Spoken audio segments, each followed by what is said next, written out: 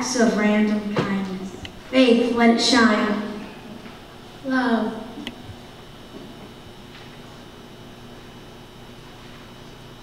Life.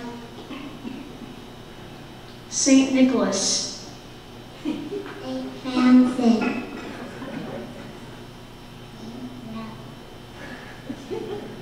Saint Terry. Saint Philomena.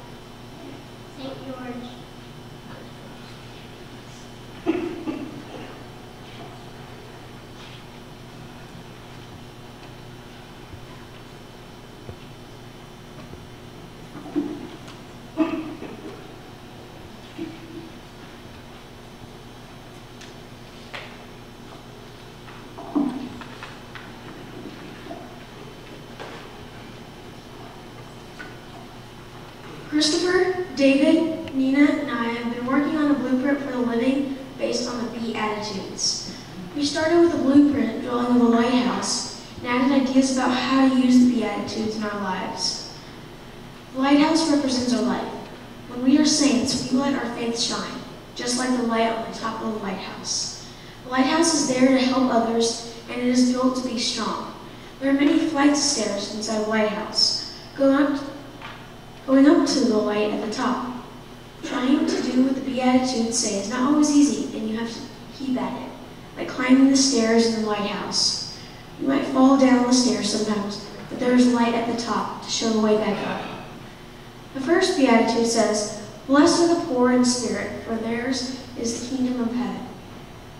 Poor in spirit means feeling weak, like you cannot take care of things by yourself, but you also feel strong, because you are confident that God will help you. Let God be in charge. Thinking about making toast. You let God make the toast, it'll come out just right. If you try making the toast yourself, it'll be all burnt.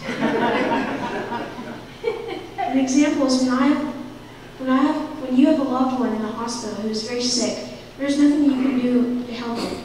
You feel scared or helpless in that situation. So you are especially open to God's help. You have nothing to lose by praying, and you are okay with letting God handle it. Like in the lighthouse, sometimes you have to go to the bottom to get back up to the top. The Beatitude says, Poor in the Spirit will have the kingdom of heaven. The kingdom of heaven is knowing that God is here for us now and also in heaven. It is the light at the top of the lighthouse. The second Beatitude says, Blessed are those who mourn, for they will be comforted. Mourn is not just being sad about a sad or terrible thing happening. It also means stepping up to do the right thing when you see bad things happen. It is helping others who are suffering or in need of help. One example is when a friend stood up for me when someone was bullying me. I will try to do that for other kids if I see them get bullied. Christopher had another example. When he saw a man picking up something off the DART train tracks, he seemed, he seemed not notice or move. The other people nearby didn't say anything. So Christopher yelled out to the man, Sir! The man moved off the tracks with seconds to spare. If you give comfort or help, you also receive comfort. You will be comforted by the light.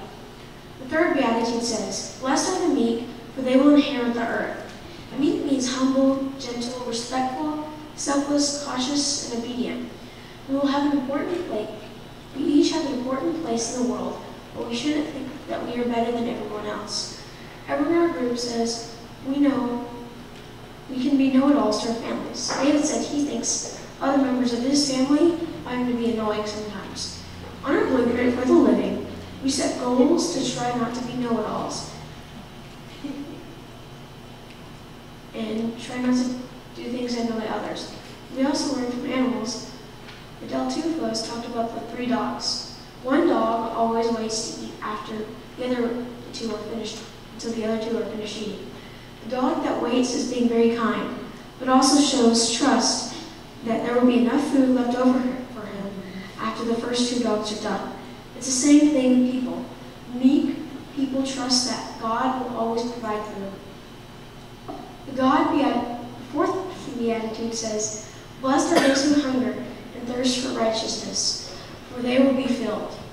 Righteousness is trying to behave the way God teaches us to act, not just doing what you think is right or what other people say to do. It's the opposite of being self-righteous. Righteous. But no matter how hard we try, we all make mistakes. If we admit our mistakes to ourselves and to God, God will forgive us. In prayer, we can accept that God forgives us. He forgives us for the things that we should not have done and for the things that we should have done but didn't. Beatitude said, this beatitude says that if we really try to be righteous, we will be filled. This that means being filled with the knowledge of God wants us to, to do, accepting God's forgiveness when we make mistakes, and feeling happy and peaceful. We only had time to cover the first four beatitudes. Hopefully, we talk, hopefully we can talk about the next four beatitudes next year on All Saints Day. Beatitudes are important because they teach us how to be saints. Ellie, Christopher, David, Neiman, and I are hosting coffee hour today. We hope you can come over and join us after church.